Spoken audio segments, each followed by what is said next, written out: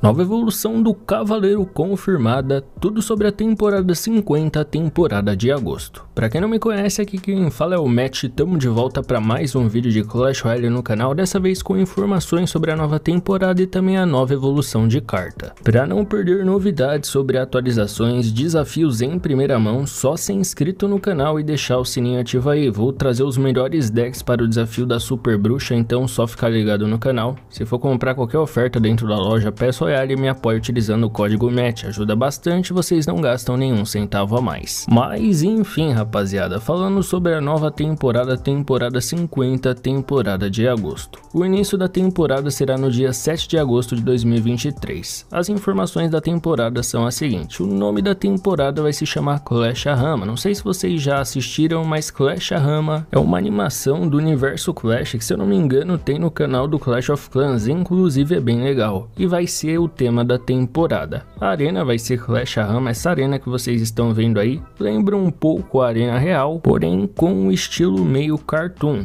O livro da loja da temporada será o livro comum e também a gente vai ter alguns visuais de torre, sendo o Rei Clash Rama disponível no PES Dourado e também o Castelo Cartoon disponível na loja. Se for comprar qualquer oferta, me apoie utilizando o código MET. Os emotes da nova temporada serão os seguintes: Peitorais do Bárbaro disponível na Rota das Lendas, Ciclo do Corredor disponível na loja da temporada barra na loja. Aqui, se eu não me engano, vai estar disponível em ambas, tanto na loja da temporada e também na loja, pelo que dá para entender aqui. Aplauso Lento do Rei na loja da temporada, Relógio Despertador do Rei também na loja da temporada. O emote da temporada será o Cavaleiro Evoluído e também teremos o emote do Mega Servo Mudo disponível na loja. Em relação aos desafios da nova temporada, vou citar quais serão os desafios e também as datas. Para não perder decks para esses desafios, só ser inscrito no canal e deixar o sininho ativo aí. Primeiro desafio, o desafio das Torres Infinitas estará disponível do dia 11 ao dia 15 de agosto. Segundo Segundo desafio, desafio do Gigante Furioso, disponível do dia 18 a 22 de agosto. Terceiro desafio, desafio do Cavaleiro Perfeito, disponível do dia 25 a 29 de agosto. E o quarto e último desafio, desafio Vai Spark, disponível do dia 1 a 5 de setembro. Em relação aos torneios reais, teremos o torneio real padrão do dia 12 a 16 de agosto e o torneio real da Morte Súbita do dia 26 a 30 de agosto. As cartas aceleradas da temporada será o Cavaleiro,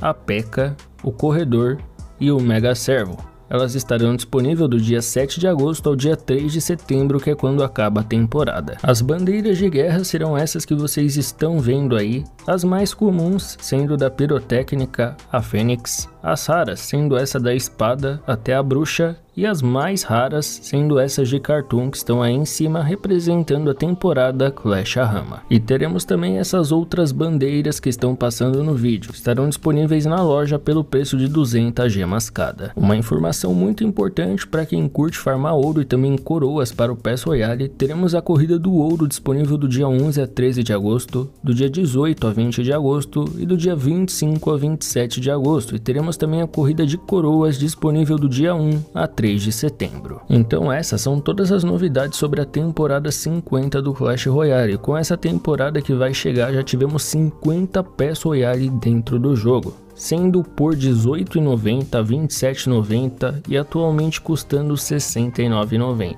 Eu sei que tem muitas pessoas que acham o preço do PES Royale um absurdo, para quem não tem a conta upada, e eu não tô nem falando conta upada cartas nível 15, para quem não tem as cartas no nível 14, o PES Royale mesmo com esse preço ainda compensa comprar. Óbvio que é um absurdo, mas em questão de progressão, obviamente compensa comprar. Porém, rapaziada, o PES Royale é uma coisa exclusiva, na qual as recompensas nunca voltarão, e também tem uma outra coisa que ajuda que é em relação à evolução de carta, porque para quem não compra o PES Royale não pode aproveitar a nova evolução evolução de carta, é o caso da evolução do Cavaleiro que vai chegar na próxima temporada. E citando o meu caso, que minha conta já está praticamente full, não faz sentido nenhum eu comprar o PES Royale a não ser por itens cosméticos e também devido à evolução de cartas. Eu não estou falando nem full do cartas nível 15, porque para mim isso é a maior besteira que tem dentro do jogo. De verdade, rapaziada, não faz sentido nenhum. Se vocês quiserem, eu trago um vídeo falando um pouco mais sobre isso. Mas o único objetivo que o PES Royale tem para alguns jogadores é nada mais e nada menos do que evolução de cartas. E eles não trazem evoluções de cartas para testar em desafio. Exemplo, para mim seria muito bom para trazer conteúdo para vocês. Mas não, eu só posso trazer conteúdo para vocês quando o desafio chega ou se eu comprar o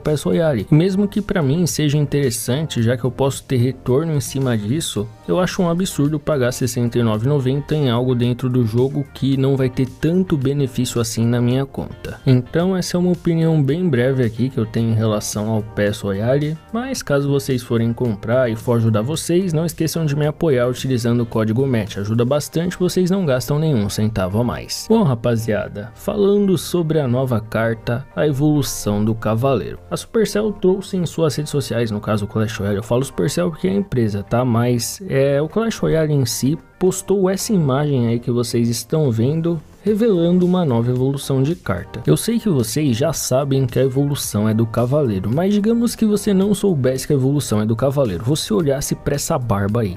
Mano, não tem como saber que é do cavaleiro. Para mim, se eu olhasse, eu ia falar, é do gigante real. Só que o Gigante Real já tem uma evolução de carta, então eu ficaria completamente bugado. Mas o Clash Royale acabou confirmando que a evolução será do Cavaleiro. E aí que tal, o que, que o cavaleiro vai fazer? Bom rapaziada, eles não citaram o que, que o cavaleiro vai fazer, qual vai ser a habilidade especial, se vai ganhar mais vida, se vai ter mais dano, eles não citaram. Porém, dá pra gente especular em relação à nova evolução do cavaleiro. Em relação a quantas vezes você precisa ciclar o cavaleiro para pegar a evolução, Bom, na minha opinião, a gente vai precisar ciclar duas vezes o cavaleiro para pegar a evolução porque um não faz sentido já que é uma carta de custo médio e muito menos 3, porque até os esqueletinhos que é um de elixir vai passar a ser 2 de ciclo. Então, na minha opinião, isso é algo que é meio que padrão em relação a qual vai ser a habilidade especial do cavaleiro.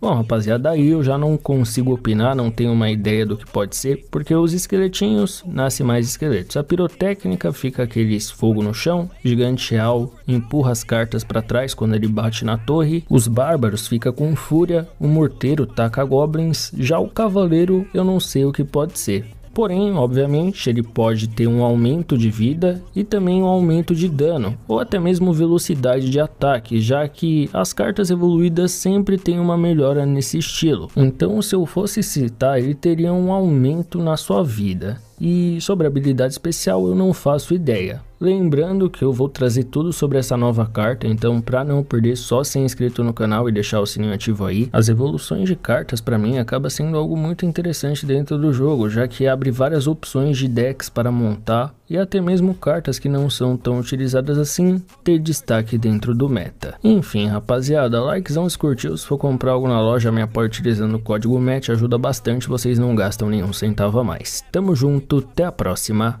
fui!